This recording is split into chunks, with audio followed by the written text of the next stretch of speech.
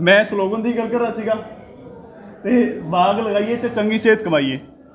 ਬਾਗ ਤਾਂ ਆਪਾਂ ਸਾਰਿਆਂ ਨੇ ਲਾਇਆ ਹੋਇਆ ਹੈ। ਸਿਟਰਸ ਨਿੰਬੂ ਜਾਤੀ ਦੇ ਬਾਗ- ਫਲਾਂ ਦਾ ਬਾਗ ਸਾਰਿਆਂ ਨੇ ਲਾਇਆ ਹੈ। ਕਿ ਨਿੰਬੂ ਜਾਤੀ ਦੇ ਫਲਾਂ ਦਾ ਕੀ ਆਪਣਾ ਸਿਹਤ ਦੇ ਵਿੱਚ ਕੀ ਖੁਰਾਕੀ ਮਹੱਤਤਾ ਹੈਗੀ, ਉਹਦੇ ਬਾਰੇ ਵੀ ਸਾਰਾ ਆਪਾਂ ਨੂੰ ਸਾਰਾ ਥੋੜਾ ਜਿਹਾ ਪਤਾ ਹੋਣਾ ਚਾਹੀਦਾ। ਇਹ ਗੁਣਾ ਦਾ ਭੰਡਾਰ ਹੈ ਜੀ।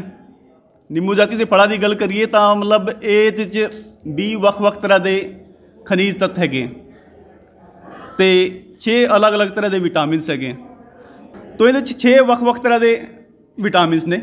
Vitamin B1 B2 B6 B9 ਤੇ ਵਿਟਾਮਿਨ C ਤੇ ਵਿਟਾਮਿਨ E ਜਿਹੜਾ ਵਿਟਾਮਿਨ C ਤੇ ਫੋਲਿਕ ਐਸਿਡ, ਵਿਟਾਮਿਨ B9 ਇਹਦੇ 'ਚ ਬਹੁਤਾਇਤ ਵਿੱਚ ਪਾਇਆ ਜਾਂਦਾ ਹੈ।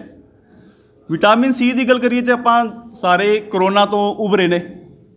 ਕਰੋਨਾ ਕਾਲ ਤੋਂ ਅਸੀਂ ਨਿਕਲੇ ਤੇ ਸਾਰੇ ਜਦੋਂ ਵੀ ਆਪਣਾ ਕੋਈ ਕਰੋਨਾ ਤੇ ਮਤਲਬ ਆਪਾਂ ਸਾਰਿਆਂ ਨੂੰ ਡਾਕਟਰ ਇਹ ਕਹਿੰਦੇ ਸੀ, ਤੁਸੀਂ ਵਿਟਾਮਿਨ ਸੀ ਦੇ ਸਪਲੀਮੈਂਟ ਜ਼ਰੂਰ ਲਿਓ ਜੀ।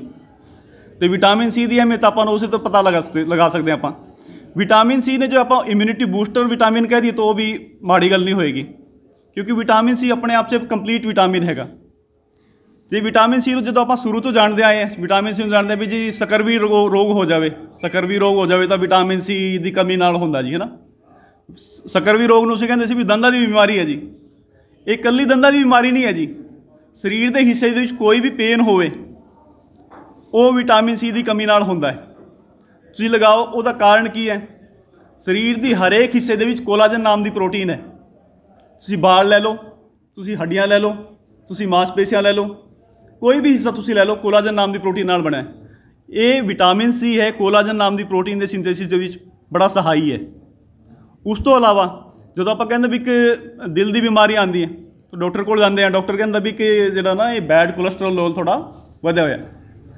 ਕੋਲੇਸਟ੍ਰੋਲ ਵੀ ਦੋ ਤਰ੍ਹਾਂ ਦਾ ਹੁੰਦਾ ਜੀ। ਗੁੱਡ ਕੋਲੇਸਟ੍ਰੋਲ ਤੇ ਬੈਡ ਕੋਲੇਸਟ੍ਰੋਲ ਆਪਾਂ ਕਹਿੰਦੇ ਵੀ ਬੈਡ ਕੋਲੇਸਟ੍ਰੋਲ ਲੈਵਲ ਥੋੜਾ ਵਧਿਆ ਹੈ। ਜਿਹੜਾ ਵਿਟਾਮਿਨ ਸੀ ਦੇ ਫਰੂਟ ਅਸੀਂ ਖਾਂਦੇ ਰਹਿੰਦੇ ਨਾ, ਤੇ ਬੈਡ ਕੋਲੇਸਟ੍ਰੋਲ ਦੇ ਲੈਵਲ ਨੂੰ ਵਧਣ ਨਹੀਂ ਦਿੰਦਾ। ਉਸ ਤੋਂ ਇਲਾਵਾ ਜਦੋਂ ਆਪਾਂ 60 ਤੋਂ ਉੱਪਰ ਜਦੋਂ ਲੰਘ ਜਾਂਦੇ, ਤੇ ਇੱਕ ਆਮ ਜੀ ਗੱਲ ਹੈ ਕਿ ਆਪਣਾ ਲੈਂਸ ਚੇਂਜ ਹੋਣਾ ਜੀ। ਲੈਂਸ ਤੋਂ ਧੁੰਦਲਾ ਦਿਖਣਾ ਸ਼ੁਰੂ ਹੋ ਜਾਂਦਾ। ਉਹਨੂੰ ਕਹਿੰਦੇ ਆਪਾਂ ਕੈਟਰੈਕਟ ਮੋਤੀਆਬਿੰਦ। ਜੇ ਵਿਟਾਮਿਨ ਸੀ ਯੁਕਤ ਫਲ ਅਸੀਂ ਖਾਂਦੇ ਰਹਿੰਦੇ ਆ ਤੇ ਉਹਦੀ ਆਵੰਦ ਟਲ ਜਾਂਦੀ ਹੈ ਲੰਬੇ ਸਮੇਂ ਤੱਕ। ਠੀਕ ਹੈ, ਔਰ ਜਿਹੜਾ ਆਪਣਾ ਜੇ ਖੂਬਸੂਰਤੀ ਦੀ ਗੱਲ ਕਰੀਏ ਤਾਂ ਇਹ ਤਵਚਾ ਦੀ ਖੂਬਸੂਰਤੀ ਵਾਸਤੇ ਵੀ ਬੜਾ ਸਹਾਈ ਹੈ। ਦੂਸਰਾ ਜਿਹੜਾ ਵਿਟਾਮਿਨ ਹੈ ਫੋਲਿਕ ਐਸਿਡ ਹੈ। ਫੋਲਿਕ ਐਸਿਡ ਜਿਹੜੀ ਮਾਵਾਂ ਭੈਣਾਂ ਹੈ, ਨਵਜਾਤ ਸ਼ਿਸ਼ੂ ਦੇ ਡਿਵੈਲਪਮੈਂਟ ਵਾਸਤੇ ਤੇ ਗਰਭ ਦੀ ਮਹਿਲਾਵਾਂ 'ਚ ਫੋਲਿਕ ਐਸਿਡ ਦੀ ਬੜੀ ਅਹਿਮੀਅਤ ਹੈ। ਇਹ ਵੀ ਜਿਹੜੇ ਨਿੰਬੂ ਜਾਤੀ ਦੇ ਫਲਾਂ ਦੇ ਵਿੱਚ ਬਹੁਤਾਏ ਦੇ ਵਿੱਚ ਪਾਇਆ ਜਾਂਦਾ ਹੈ।